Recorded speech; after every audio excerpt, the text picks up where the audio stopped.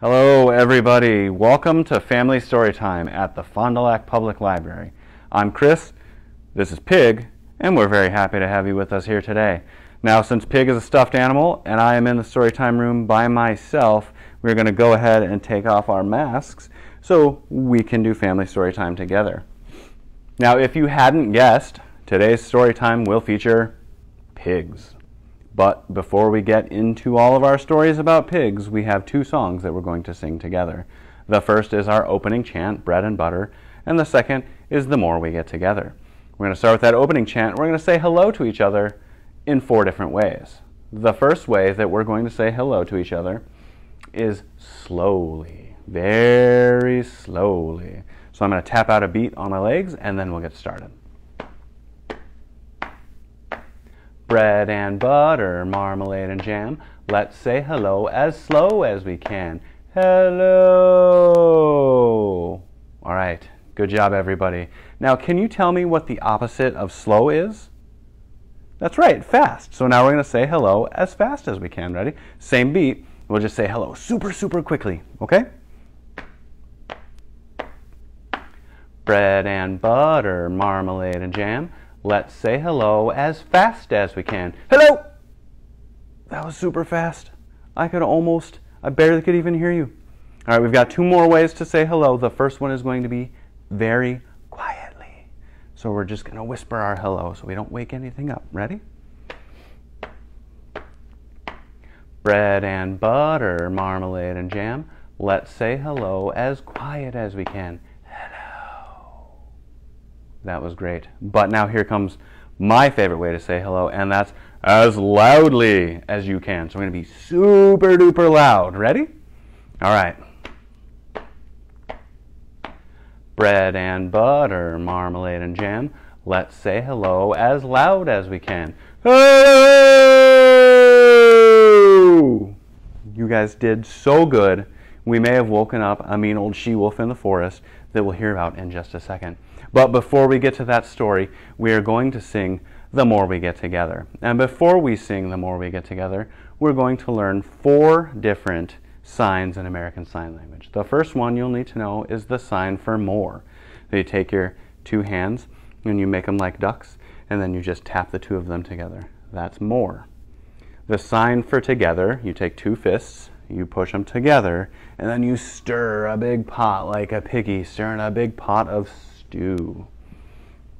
The third sign that we'll do is happy. So you'll take your palms, face them to your chest, and sort of bat them up like you're smelling that delicious stew that you just stirred. That's happy. And the last one is friends. So you'll take your fingers and turn them into little pirate hooks, and then you hook them together, and that's friends. All right, so the song is The More We Get Together. Ready?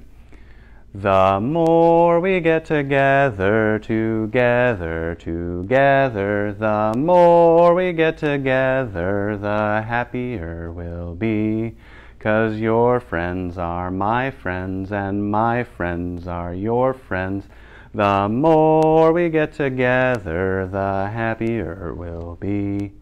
All right, now what we're going to do is we're going to tune into a puppet show but before we are going to do that, I have to put my mask back on because Miss Sarah is going to help. So I'm going to step off, put my mask on, and then we'll do a puppet show for you. All right. Once upon a time, there were three little pigs. One sunny day, the three little pigs set out to seek their fortunes. They waved goodbye to their family and started down a path toward the woods.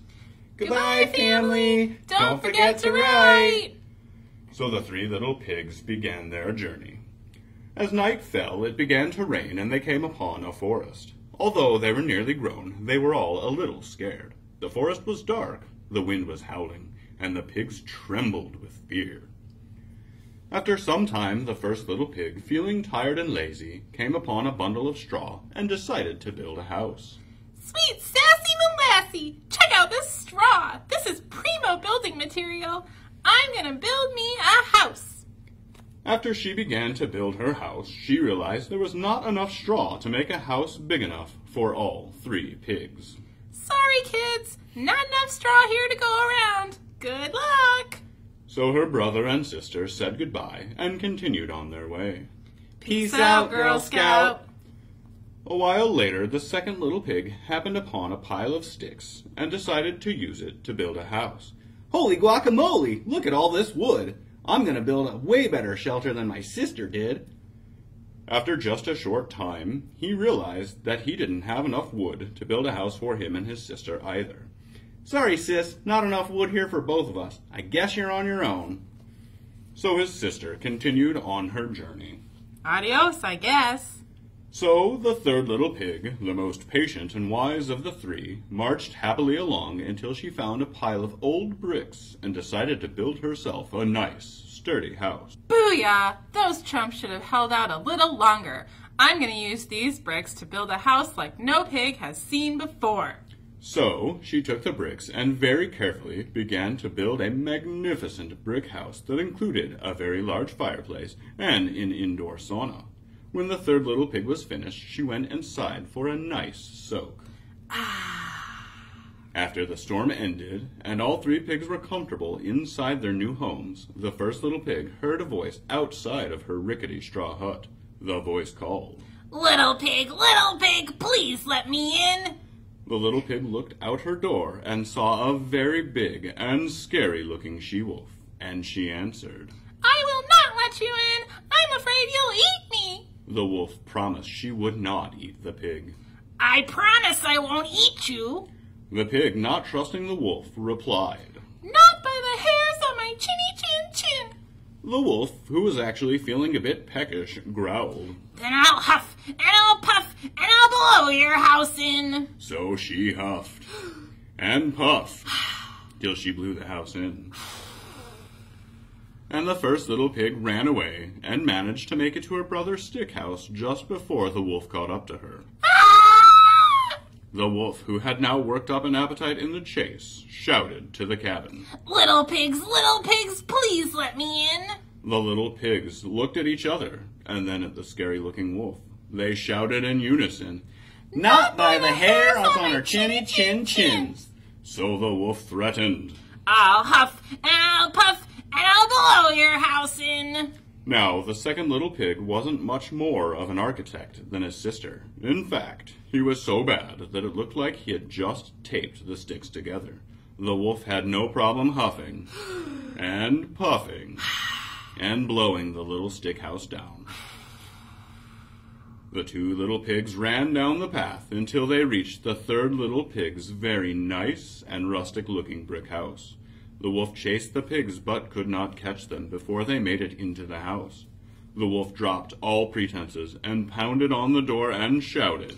I'm very hungry, little pigs, so please let me come in. The pigs, who couldn't have asked for a better house to be stuck in, said. Not by the hairs on our chinny chin chins. So the wolf, who was feeling downright hangry at this point, yelled. Then I'll huff and I'll puff and I'll blow your house in. So she huffed, and she puffed, and she huffed, and puffed, but could not blow the house in. That house was locked up like a fortress. The door didn't even have a knob. It must have worked like a drawbridge. The three pigs cheered and jeered at the wolf. Ha ha! Then the wolf had an idea. and she jumped up on the roof of the brick house. I didn't say it was a good idea. The first two pigs had become quite content, and even thought about having a power nap before their sister jostled them awake and said, I hear the wolf on the roof.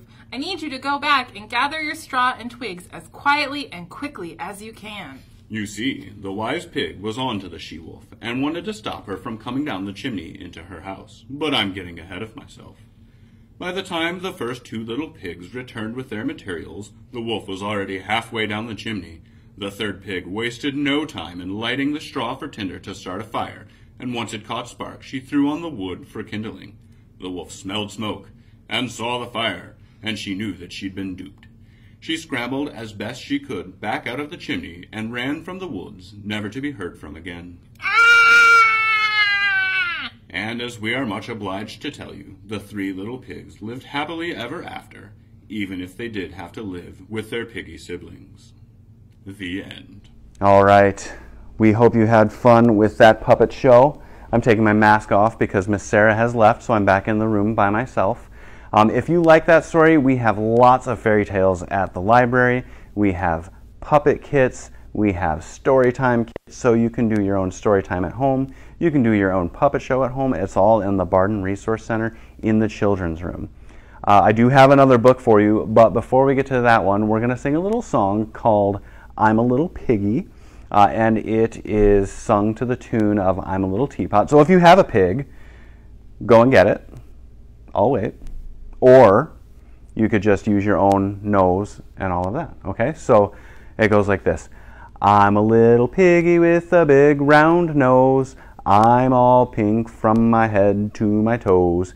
Here's my piggy tail, and you can see it's pink and curly as can be. Now we can do that again. If you've got a brother or a sister, maybe you can use their nose, or they can use your nose. Or if you've got, like I said, a piggy or some other stuffed animal, you can do it all together. Ready? It goes, I'm a little piggy with a big round nose. I'm all pink from my head to my toes. Here's my piggy tail, and you can see it's pink and curly as can be. Okay, now I do have another friend with me here today, and he's a frog. Now you might wonder why I have a frog with me when today is so very clearly a piggy story time. And it's because we're going to be reading a book called Ribbit. So I'm going to go grab that book and then we can read it together. All right, I've got my book, and it's called Ribbit, written by Rodrigo Folgueira and illustrated by Poly Bernatene. This is our little piggy, and we've got some frogs all around him. Let's find out what happens. Once upon a time, there was a pond that was home to a family of frogs. It was their pond, and they were very happy living there. But one morning, they discovered a surprise visitor. It was a pig a little pink pig sitting on a rock. Goodness, said the frogs, why is there a pig in our pond? They whispered amongst themselves until finally the chief frog spoke up. Good morning. What can we do for you? And to their amazement, the little pig answered, Ribbit. Can you all say that? Can you say ribbit? Good job. What did he say? cried the frogs. This pig is confused. Does he think he's a frog? Is he making fun of us? But again, all the little pig said was, what's he going to say? That's right. Ribbit. Can you give another big ribbit? Good job. All right. News of the little pig who thought he was a frog spread fast, and all the animals hurried to the pond to see the visitor. This new relative of yours is a little pink, said the raccoon. He's no relation of ours, declared the frogs. He certainly sounds like a frog, said the weasel. Why would a pig want to be a frog? said the parrot. And what's wrong with being a frog, may we ask? Exclaimed the frogs. Everyone started shouting at each other, completely ignoring the little pig, who just sat there practicing his ribbit. The animals laughed and laughed, and the frogs got angrier and angrier until finally the chief frog shouted out, Stop! We're not getting anywhere by fighting. We must go and find the wise old beetle. He'll know what to do. The wise old beetle, gasped all the animals, but he hates to be disturbed. I know, said the chief frog, but this is very serious. That's true, the animals agreed, and off they went. And the little frog said, Ribbit? You see the question mark? Ribbit? The animals found the wise old beetle and tried to explain the problem. It was hard for him to understand because they were all talking at once. In the end, he agreed to go with them to the pond. But when they arrived. Where'd the little piggy go? You think he's behind the rock? I don't see him back there. Where did the pig go? the animals cried. Who was he? What did he want? Maybe, said the wise old beetle, he just wanted to make new friends. And off he went. Oh dear, said the animals. They hadn't thought of that. And sure enough, sitting on a branch high up in a tree nearby was the little pig. Where is he? That's right, there he is. And you know what he's saying? Tweet! And he was surrounded by new friends. Tweet, tweet, tweet, tweet, tweet, tweet, tweet, tweet, tweet. Boy, was that wise old beetle smart. So maybe next time when you're at school and you see a potential friend trying to fit in, maybe go over and uh, rib it with them. Sometimes it's fun to be silly with people, helps break the ice, um, and makes, makes them feel better. So, uh, speaking of silly songs, we're going to sing a silly song now called Pig on Her Head by the Laurie Berkner Band. So, again, if you've got that pig or that stuffed animal or whatever it was that you had earlier for our other song, go ahead and grab that and we'll listen to Pig on Her Head. This is the second version. She actually did two versions of this song, and this is the second version that, that she did. So we're going to go ahead and get that started.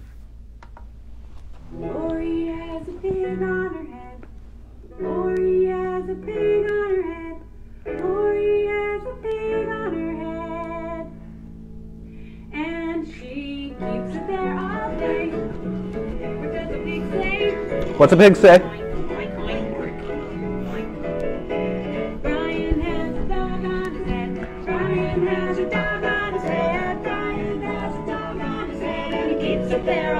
Now, what's a dog say?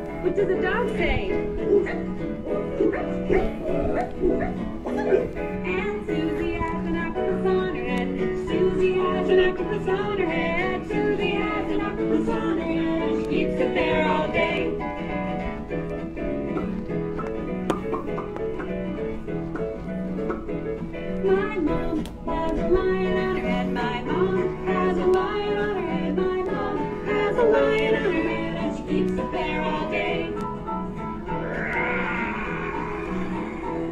My dad has a cat on his head. My dad has a cat on his head. My dad has a cat on his head, and he keeps it there all day. That's right, what's the cat say?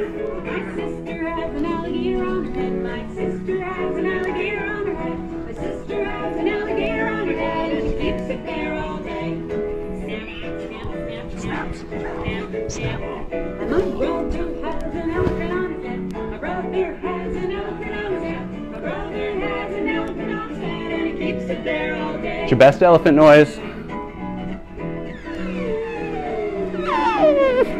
everybody put your hands on your head. Everybody put your hands on your head. Everybody put your hands on your head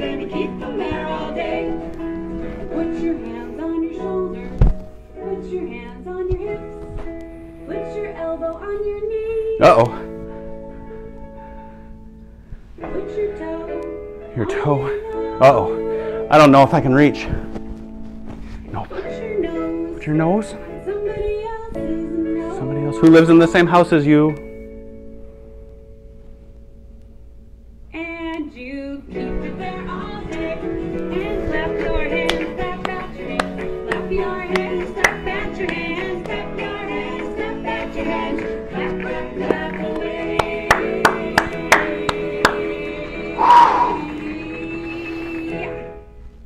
Wow, that is a pretty high energy song.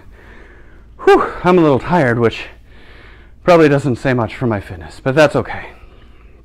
So I guess we'll wind down. That's all I have for you today for family story time. Uh, so we're going to wind down and we're going to do the See You Later Alligator song. Don't worry, this guy's not going to show up in that song. Um, but that's how we say goodbye is See You Later Alligator. Um, but before we before we do that, I do want to remind you of our regularly scheduled story times. They're happening at 9:30 Tuesday through Friday. So 9:30 on Tuesdays will be toddler story time. Preschools will be on Wednesdays. Family story time is on Thursdays, and then again, Spanish story time will be on Fridays. All right, ready for See You Later, Alligator. See you later, Alligator in a wild crocodile. Give a hug, ladybug. Blow a kiss, jellyfish. See you soon, big bag moon. Out the door, dinosaur. Take care, polar bear. Wave goodbye, butterfly. All right, thank you all for joining me today. I had a lot of fun. I hope you did too. Bye bye.